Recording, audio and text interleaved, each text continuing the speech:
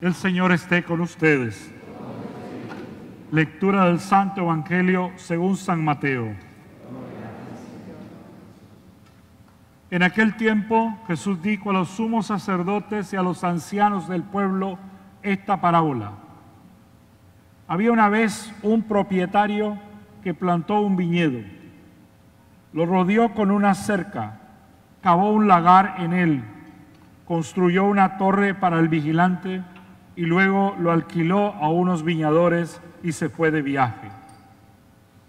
Llegado el tiempo de la vendimia, envió a sus criados para pedir su parte de los frutos a los viñadores. Pero estos se apoderaron de los criados, golpearon a uno, mataron a otro y a otro más lo apedrearon. Envió de nuevo a otros criados con mayor número que los primeros y los trataron del mismo modo. Por último, les mandó a su propio hijo pensando, a mi hijo lo respetarán. Pero cuando los viñadores lo vieron, se dijeron unos a otros, este es el heredero, vamos a matarlo y nos quedaremos con su herencia.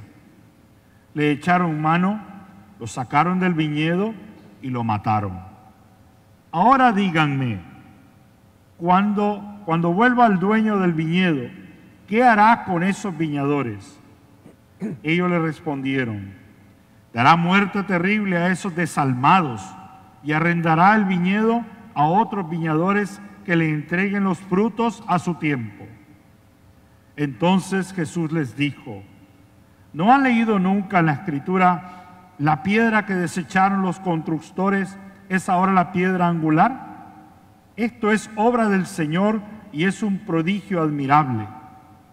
Por esta razón les digo que les será quitado a ustedes el reino de Dios y se le dará a un pueblo que produzca sus frutos. Palabra del Señor.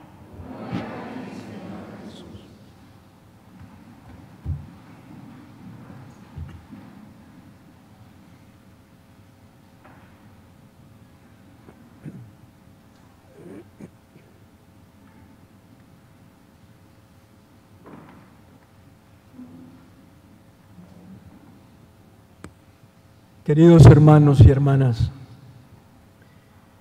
hoy hemos escuchado en el Evangelio una parábola de Jesús en la que se habla de un hombre que era propietario de una viña, que él mismo había plantado con mucho esmero y cuidado.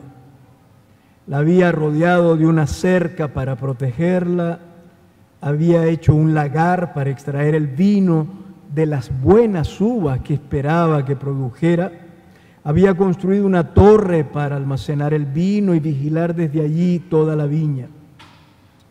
Esta descripción de la viña que hemos escuchado en la parábola del Evangelio se inspira en el bellísimo canto de la primera lectura de hoy tomada del profeta Isaías, en donde el profeta también habla de una viña y nos recuerda el cuidado, el esmero y la solicitud amorosa de Dios hacia nosotros que somos su viña amada.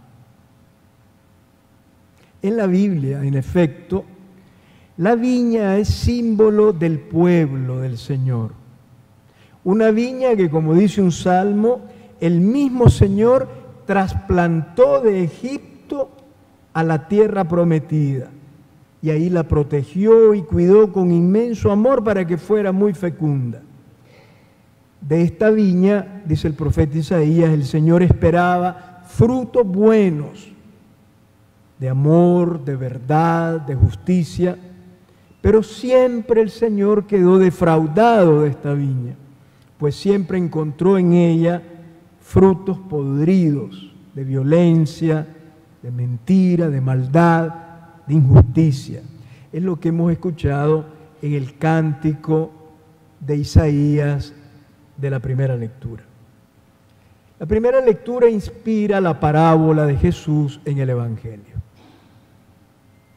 La parábola del Evangelio relata que el dueño de la viña, que la había plantado con tanto amor, tuvo que irse de viaje y arrendó la viña a unos viñadores para que la trabajaran.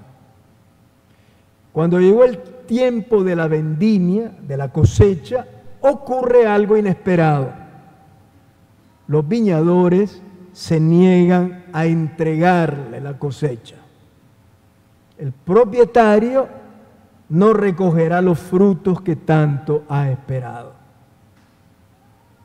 Dice la parábola que envió a unos siervos suyos para recoger los frutos, pero aquellos viñadores agarraron a los siervos, a uno lo golpearon, a otro lo mataron y al tercero lo apedrearon. El dueño de la viña no respondió de la misma manera ni perdió la esperanza y mandó a otro grupo de servidores, esta vez más numeroso que el primero, pero los trataron del mismo modo.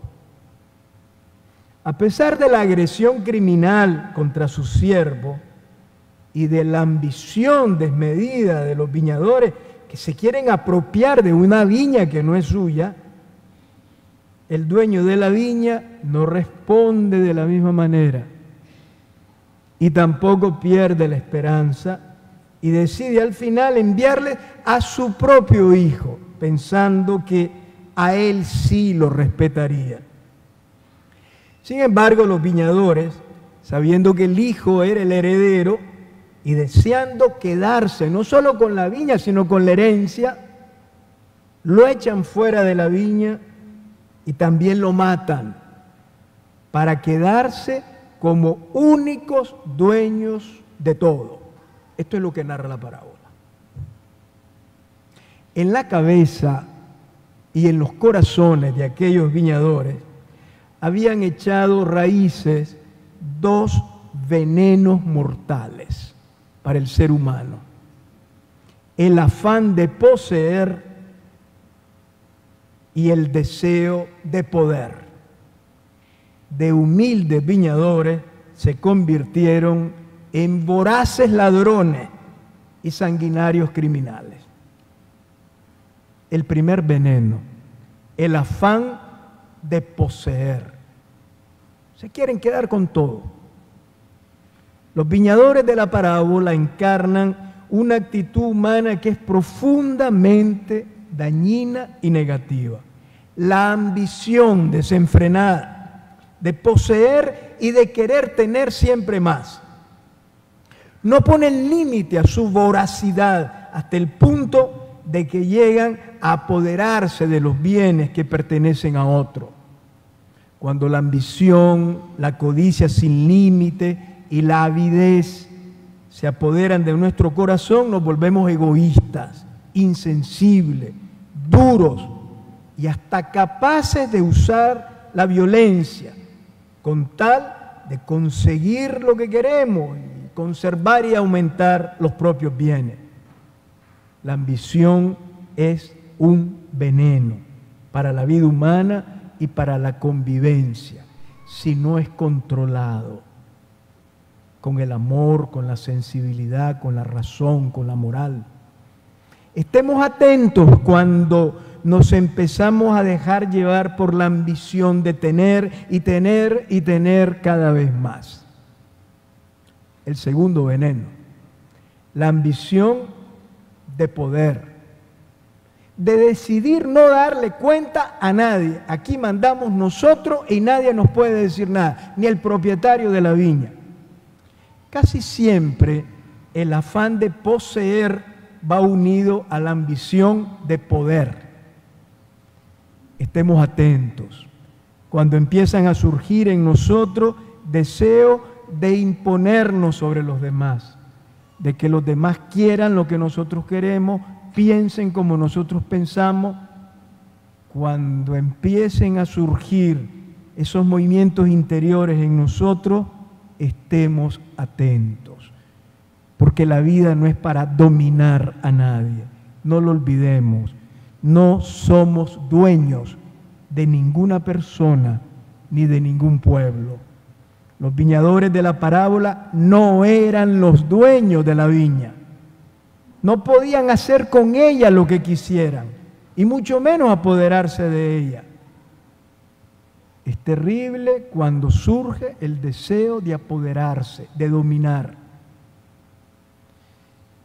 Sobre todo en la sociedad, cuando se impone la ambición de poder como deseo enfermizo y se apodera de las personas, las puede convertir en auténticos tiranos que no dudan en convertir en ley sus oscuros y desquiciados deseos a través de regímenes de, terror asentados en la agresividad y la violencia. En la parábola del Evangelio, los viñadores ambiciosos y asesinos se olvidaron de agradecer al dueño de la viña que les había dado la oportunidad de tener trabajo. Y se olvidaron de ser justos dando la parte de los frutos que le correspondía. En lugar de agradecer y ser justos, agredieron a sus enviados y a su hijo y decidieron apoderarse de una viña que no era suya.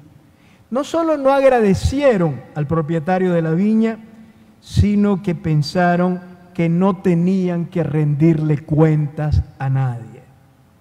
La falta de gratitud, la ambición, el absolutismo irresponsable hizo, como dijo el Papa Francisco hoy en el Ángelus en la mañana, que unos viñadores se convirtieran en asesinos.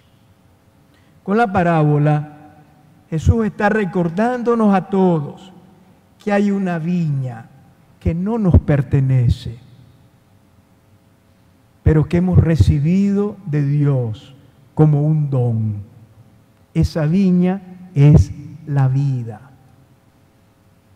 La parábola nos recuerda que al inicio de todo está la gratuidad del amor de Dios, que confía en nosotros y nos ha entregado su viña, la que Él plantó con tanto amor y esmero. Es la viña de la vida humana. Es la viña de este hermoso planeta en el que vivimos. Es la viña de la convivencia con las personas con las que nos encontramos todos los días. Es la viña de la historia que transcurre a través de los siglos. El Señor nos la ha dado. Nos la ha confiado para que la cuidemos con gratitud y esmero.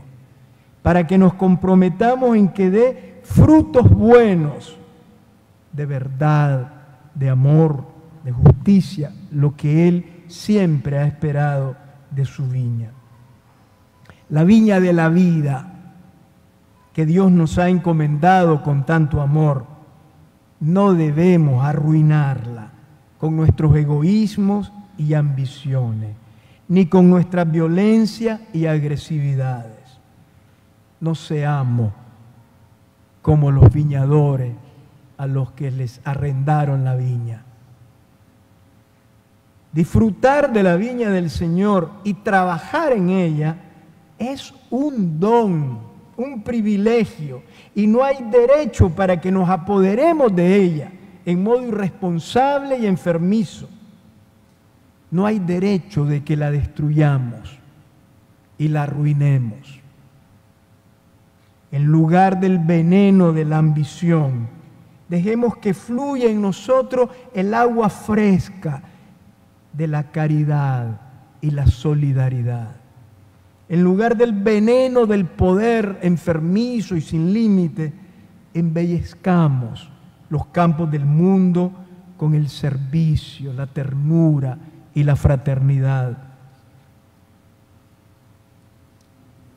Al final de la parábola, Jesús le pregunta a quienes había dirigido la parábola, que eran los dirigentes religiosos que lo estaban escuchando, los sumos sacerdotes y los maestros de la ley, y les pregunta a los hombres de la religión, ¿qué debería hacer el dueño de la viña con aquellos labradores a lo que ellos responden diciendo, debe darles una muerte miserable a aquellos malvados. No es el dueño de la viña el que decide esto. Tampoco son palabras de Jesús. Son palabras de los que oyeron la parábola. ¿Qué hacemos con estos viñadores que han destruido la viña, se han apoderado de ella? Darle una muerte miserable a estos malvados. ¿Es esta la respuesta? La respuesta que dieron aquellos hombres a Jesús es trágica. Los dirigentes del pueblo proponen venganza y más violencia. Qué pena que haya gente que solo conoce la ley del ojo por ojo, diente por diente. Y así vamos por la vida. Me las va a pagar. Qué pena que se siga imponiendo en nuestra sociedad la ley del más fuerte, que casi siempre es el más malvado y a veces el más bruto. Qué triste que la historia siga en manos de personas que no piensan más que en hacer sufrir, hacer derramar lágrimas, apropiarse de lo que no es suyo, encarcelar, exiliar o matar. Y así vamos destruyendo a lo largo de los siglos la viña que el Señor con tanto amor ha plantado. Sin entrar en discusión con los que apelan a la solución violenta, Jesús al final de la parábola solo advierte algo. A los viñadores homicidas de la parábola se les quitará el reino de Dios para dárselo a un pueblo que produzca frutos. Dios no se resigna a perder la viña, sigue esperando fruto. Los que pasan y quedan fuera son los viñadores, pero la viña continúa. Ellos son los que quedan excluidos porque no hay lugar en la viña del Señor, en el reino de Dios, para viñadores que se sienten dueños absolutos de la vida de los demás, de la historia, del mundo, de la viña del Señor. No tienen futuro los violentos que apagan la voz de los profetas, como estos viñadores que mataron a los servidores del propietario de la viña. No tienen futuro los que quieren hacer de la sociedad una finca particular y exclusiva para ellos, excluyendo a todos los demás. Al final son hermosas las palabras de Jesús. La viña se le dará a otros para que produzca frutos.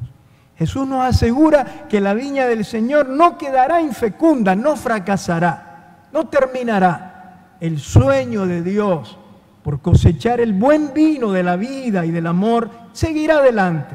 Nadie lo puede detener. No perdamos la esperanza. No faltarán buenos viñadores que en lugar de devastar, cuiden con ternura.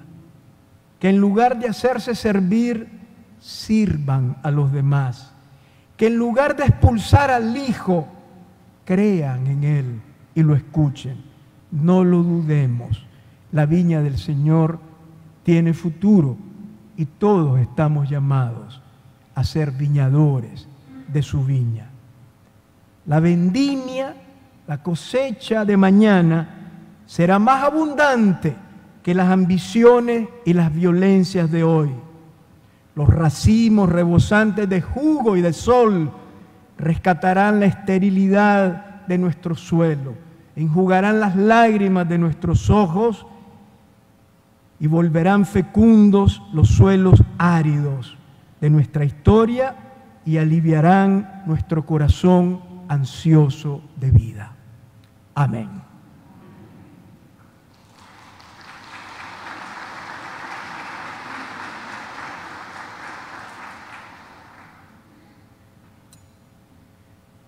Les invito ahora, como todos los domingos, a que hagamos un momento de silencio. El miércoles pasado empezó el sínodo de los obispos en Roma con la participación de sacerdotes, religiosas, religiosos, seglares, solteros, casados, toda la iglesia. Y a lo que más están dedicando tiempo en el sínodo es a hacer silencio. El Papa les ha hablado de ayuno de la palabra.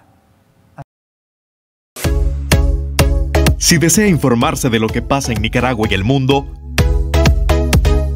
visita nuestro sitio web www.cafeconvoz.com.